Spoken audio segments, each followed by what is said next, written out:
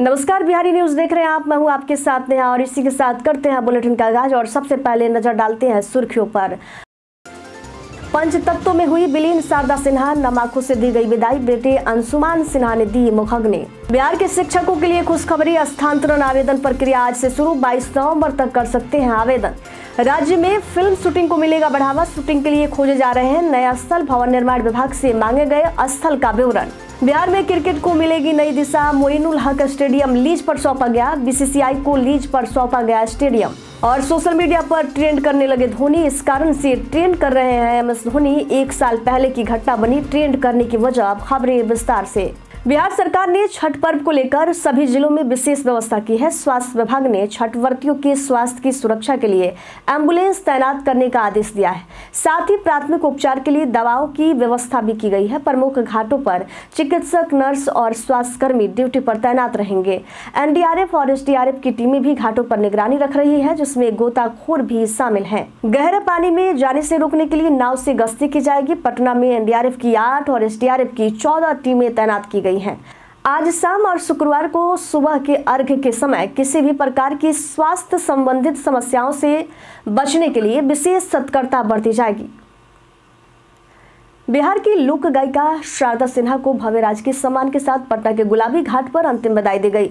उनके बेटे अंशुमान सिन्हा ने माँ को मुखग्नि दी। उनके अंतिम संस्कार के दौरान गुलाबी घाट पर उनके परिवारजन, करीबी रिश्तेदारों और प्रशंसकों का हुजूम रहा।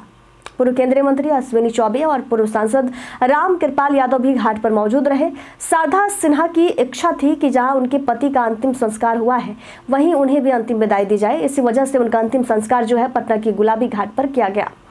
बता दें, बिहार की लोक गायिका, जिनकी आवाज़ में बिहार ही नहीं, पूरे देश के लोग रमे हुए हैं। शारदा सिन्हा की गायकी ने छठ गीतों और लोक संगीत में एक विशिष्ट स्थान बनाया है।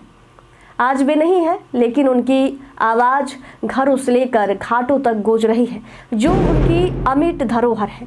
शारदा सिन्हा के योगदान को कभी भुलाया नहीं जा सकता और उनका संगीत हमेशा हमारे बीच जीवंत रहेगा। राज्य के सभी सरकारी और निजी विद्यालयों में पढ़ाई कर रहे बच्चों को बाल अधिकारों के प्रति जागरूक किया जाएगा। इसके लिए बिहार बाल अधिकार संरक्षण आयोग ने 14 से 20 नवंबर तक बाल संरक्षण सप्ताह आयोजित करने का ऐलान किया है। इस दौरान स्कूलों में बच्चों को बाल श्रम, बाल विवाह, बाल शोषण, बाल तस्करी, गुड टच और बैड टच जैसे महत्वपूर्ण मुद्दों पर जागरूक किया जाएगा। आयोग ने सभी जिला शिक्षा पदाधिकारियों को इस संबंध में दिशा निर्देश जारी किए हैं और स्कूलों के प्राचार्यों से विभिन्न आयोजनों की अपेक्षा की है। साथ ही आयोग ने कहा है कि बाल अधिकारों से जुड़ी जागरूकता बढ़ाने के लिए स्कूलों में विशेष परिचर्चा आयोजित की जाएगी, जहाँ बच्चों को उनके अधिकारों के बारे में जानकारी दी जाएगी। इस सप्ताह के आयोजन के समापन पर आयोजनों की जो पूरी तस्वीर है, उस रिपोर्ट को आयोग के पास भेजना भी ज़रूरी होगा।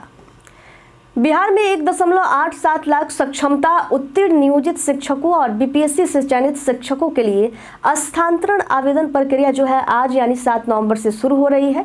शिक्षकों को शिक्षा विभाग के पोर्टल ई शिक्षा कोर्स पर जाकर अपने टीचर आईडी से लॉगिन करना होगा। इसके बाद उन्हें ट्रांसफ़र बटन पर क्लिक करके ट्रांसफ़र अप्लीकेशन फॉर्म को भरना होगा। इसके बाद पंजीकृत मोबाइल नंबर पर ओटीपी जाएगा। इसके बाद ओटीपी वेरीफाई करना होगा। ट्रांसफ़र के आवेदन के लिए नियमित शिक्षक सक्षमता उत्तीर्ण, नियोजित शिक्षक और बीपीएससी पहले और दूसरे चरण के चयनित शिक्षक ही पात्र होंगे। ये प्रक्रिया 22 नवंबर तक जारी रहेगी। शिक्षकों को ये ध्यान रखना होगा कि वे स्थानांतरण के लिए आवेदन में हाँ का विकल्प चुने। अन्यथा उनका स्थानांतरण बिना विकल्प के उनके गृह जिला में किया जाएगा। बिहार लोक सेवा आयोग बीपीएससी द्वारा आयोजित शिक्षक भर्ती में डिस्टेंस एजुकेशन के ज़रिए 18 महीने का डीएलएड करने वाले शिक्षकों की नियुक्ति का मामला सामने आया है। दरअसल बीपीएससी टीआरई के पहले चरण में मुजफ्फरपुर समेत बिहार के पाँच जिलों में ऐसे शिक्षक चयनित हुए थे जिनके पास दो साल का प्रशिक्षण नहीं था। बल्कि उन्होंने केवल 18 महीने का डिस्टेंस डीएलएड किया था। अब इन शिक्षकों के चयन को लेकर विवाद उठने के बाद प्राथमिक शिक्षा निदेशक पंकज कुमार ने इन जिलों के अधिकारियों को जाँच के आदेश दिए हैं। सूत्रों के मुताबिक इन जिलों में डेढ़ दर्जन से अधिक ऐसे शिक्षक हैं जिनके प्रमाण पत्र की वैधता को लेकर जाँच शुरू की गई है। इससे पहले सुप्रीम कोर्ट ने 28 नवंबर 2023 को यह आदेश दिया था कि प्राथमिक शिक्षक के पद पर नियुक्ति के लिए केवल दो साल का नियमित प्रशिक्षण ही मान्य होगा, जबकि 18 महीने के डिस्टेंस प्रशिक्षण से प्राप्त प्रमाण पत्र मान्य नहीं होंगे। राज्य सरकार ने फिल्मकारों को आकर्षित करने और फ़िल्म इंडस्ट्री को बिहार में लाने के लिए बेहतरीन स्थानों की खोज शुरू कर दी है। राज्य सरकार ने भवन निर्माण विभाग के माध्यम से बिहार में स्थित राज्य सरकार ने भवन निर्माण विभाग के माध्यम से बिहार में स्थित प्रमुख सरकारी भवनों, पार्कों, गेस्ट हाउस और अन्य आकर्षक स्थलों की जानकारी एकत्र करने की प्रक्रिया शुरू कर दी है। विभाग ने राज्य के सभी प्रमंडल के कार्यपालक अभियंताओं को पत्र लिखकर उनसे इन विशेष स्थलों का विवरण मांगा है। इनमें फार्म हाउस, पुराने भवन, डाक बंगला, अतिथि गृह, स्कूल, अस्पताल, तालाब, पुलिस चौकी आदि शामिल है। ये विवरण फ़ोटो सहित मांगे गए हैं। और साथ भी, और साथ में ये भी पूछा गया है कि इन स्थलों के उपयोग के लिए किस विभाग से अनुमति लेनी होगी, शुल्क कितना होगा और किसी भी तरह की और कानूनी प्रक्रियाएँ क्या हो सकती हैं। बिहार की उनहत्तर सड़क परियोजनाओं को वन विभाग से अंतिम स्वीकृति नहीं मिल रही है, जिससे सड़क निर्माण कामों में भारी रुकावटें आ रही हैं। इनमें से कई सड़कें तो लगभग एक दशक पहले बन चुकी हैं, लेकिन चौड़ीकरण और अन्य ज़रूरी कामों में बाधा बनी हुई है। पथ निर्माण विभाग ने वन विभाग से इन सड़कों की अंतिम स्वीकृति देने की अपील की है। विभाग का कहना है कि राष्ट्रीय उच्च पथ परियोजनाओं को दो स्तरों पर मंजूरी मिलती है। स्टेज एक में मंजूरी मिलने के बाद काम शुरू होता है, लेकिन स्टेज दो यानी कि अंतिम स्वीकृति की ज़रूरत होती है ताकि भविष्य में किसी भी प्रकार के काम को सुगमता से किया जा सके। फ़िलहाल वन विभाग ने उनहत्तर सड़कों की अंतिम स्वीकृति नहीं दी है, जिसके चलते नया कार्य और चौरीकरण जो है नहीं हो पा रहा है। बॉलीवुड की अभिनेत्री संचिता बसु इस साल भी छठ पूजा के अवसर पर अपने पैतृक गाँव सहरसा पहुँची हैं। संचिता, जो कि दक्षिण भारत की फ़िल्मों और वेब सीरीज़ में मुख्य भूमिका निभा चुकी हैं, हर साल अपने गाँव आकर इस लोक आस्था के महापर्व को एंजॉय करती हैं। इस साल वे 2 नवंबर को ही गाँव पहुँच चुकी हैं। और अपने परिवार के साथ छठ पूजा की चार दिवसीय रस्मों में शामिल हो रही हैं। संचिता ने बताया कि उनका इस पर्व से गहरा जुड़ाव है, खासकर उनकी दादी के साथ। उनकी दादी खुद छठ व्रत करती है और इस पर्व को साथ मनाना उनके लिए बेहद खास अनुभव होता है। इधर बिहार की राजधानी पटना स्थित मोइनुल हक स्टेडियम की पुनर्निर्माण के लिए एक बड़ा कदम उठाया गया है। बिहार सरकार ने इस स्टेडियम को 30 सालों के लिए भारतीय क्रिकेट कंट्रोल बोर्ड को लीज पर सौंप दिया है। बुधवार को खेल विभाग और बीसीए के बीच इस बाबत समझौता हुआ, जिसमें बीसीए के अध्यक्ष राकेश कुमार तिवारी और खेल निदेशक महेंद्र कुमार ने हस्ताक्षर किए। उप मुख्यमंत्री सम्राट चौधरी ने इस मौके पर बताया कि इस स्टेडियम में चालीस दर्शकों की क्षमता वाले नए ढांचे के अलावा एक फाइव स्टार होटल का भी निर्माण किया जाएगा। साथ ही नए साल में स्टेडियम के शिलान्यास के लिए प्रधानमंत्री नरेंद्र मोदी या गृह मंत्री अमित शाह से आग्रह किया जाएगा। कला, संस्कृति एवं युवा विभाग बिहार में सांस्कृतिक कॉरिडोर बनाने की तैयारी में है, जो राज्य के प्रमुख धार्मिक और ऐतिहासिक स्थलों को जोड़ने का काम करेगा। इस कॉरिडोर में गया, बोधगया, नालंदा, राजगीर, लखीसराय, नवादा, मुंगेर और भागलपुर ज़िले शामिल होंगे। इस परियोजना का मुख्य उद्देश्य इन जिलों में सांस्कृतिक कार्यक्रमों के साथ साथ नृत्य, संगीत, गायन और अन्य सांस्कृतिक गतिविधियों को बढ़ावा देना है ताकि इन क्षेत्रों में पर्यटन को बढ़ावा मिल सके।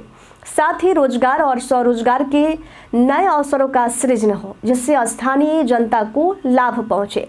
बिहार के बेगूसराय ज़िले में सिहमा गाँव, जहाँ शारदा सिन्हा का ससुराल है, वहाँ इस बार वहाँ इस बार छठ महापर्व का उल्लास नहीं दिखाई देगा। प्रसिद्ध लोक गायिका शारदा सिन्हा के निधन के बाद गाँव में शोक का माहौल है। शारदा सिन्हा, जिनकी आवाज़ छठ गीतों के माध्यम से देश विदेश में पहचानी जाती थी, उनका निधन इस गाँव के लोगों के लिए अपूर्णीय क्षति है। अपने सहज स्वभाव और आत्मीयता के लिए प्रसिद्ध शारदा सिन्हा का अपने ससुराल और गाँव के साथ गहरा रिश्ता था और उन्होंने अपनी गायकी से गाँव के लोगों के दिलों में एक खास जगह बनाई थी।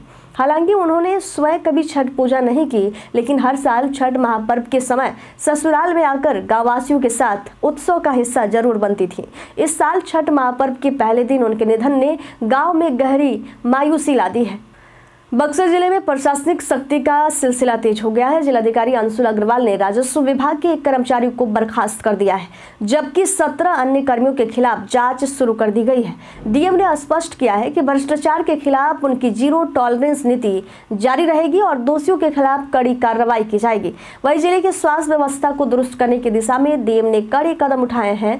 प्रशासन और स्वास्थ्य विभाग की संयुक्त टीम ने बक्सर और डुमराव अनुमंडल में पचपन से ज़्यादा निजी अस्पतालों पर छापेमारी छापेमारी की, जिनमें से तीस अस्पतालों, क्लिनिक और अल्ट्रासाउंड सेंटर को सील कर दिया गया। डीएम ने कहा कि अवैध नर्सिंग होम और अस्पतालों के खिलाफ ये कार्रवाई इसलिए की जा रही है क्योंकि इससे मरीजों की जान खतरे में थी और जिला प्रशासन की छवि पर भी सवाल उठ रहे थे। एशियन हॉकी चैंपियनशिप खेलने पहली बार बिहार आई हॉकी वुमेन टीम ने राजगीर में ज़बरदस्त यात्रा की। यहाँ की खूबसूरत वादियों ने सभी खिलाड़ियों का दिल छू लिया। राजगीर में अपने मैच से पहले महिला हॉकी टीम ने यहाँ के शानदार वातावरण का पूरा आनंद लिया। जू सफारी और ग्लास ब्रिज पर सैर करते हुए टीम के सदस्य बेहद खुश नज़र आए। खिलाड़ियों ने इस यात्रा के दौरान जमकर मस्ती की और खुद की यादें भी कैमरे में कैद की। एशियन हॉकी चैंपियनशिप के इस संस्करण का आयोजन राजगीर में हो रहा है और राज्य प्रशासन पूरी तरह से इस ऐतिहासिक आयोजन के लिए तैयार है।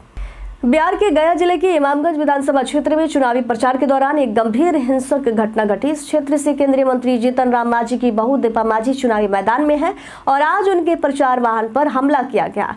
जानकारी के मुताबिक हमलावरों ने प्रचार वाहन पर लगे पोस्टर और बैनर को फाड़ दिया और इसके बाद गाड़ी के ड्राइवर की भी बेरामी से पिटाई की है। हमलावरों ने गाली गलौज करते हुए पीएम नरेंद्र मोदी, नीतीश कुमार, जीतन राम मांझी, चिराग पासवान और उपेंद्र कुशवाहा की जाति का नाम लेकर न केवल केवल अपमान किया बल्कि गाड़ी में आग लगाने की भी कोशिश की। किसी तरह ड्राइवर अपनी जान बचाने में सफल रहा और, और गाड़ी को लेकर वहाँ से निकलने में भी कामयाब रहा। यह घटना इमामगंज क्षेत्र के बाके बाज़ार प्रखंड के बरहेता पंचायत के पचमा गाँव में हुई है। अमेरिकी राष्ट्रपति चुनाव में डोनाल्ड ट्रंप की शानदार वापसी के बाद भारतीय क्रिकेट टीम के पूर्व कप्तान महेंद्र सिंह धोनी एक बार फिर से सुर्खियों में हैं।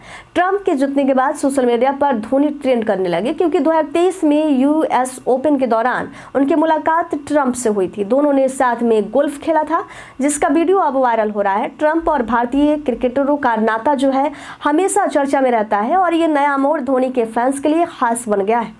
2020 में ट्रंप के भारत दौरे के दौरान उन्होंने सचिन तेंदुलकर का नाम सुचिन कहकर गलती की थी, जिससे वे ट्रोल भी हुए थे। अब धोनी और ट्रंप की मुलाकात के साथ एक नया विवाद फिर से सामने आया है।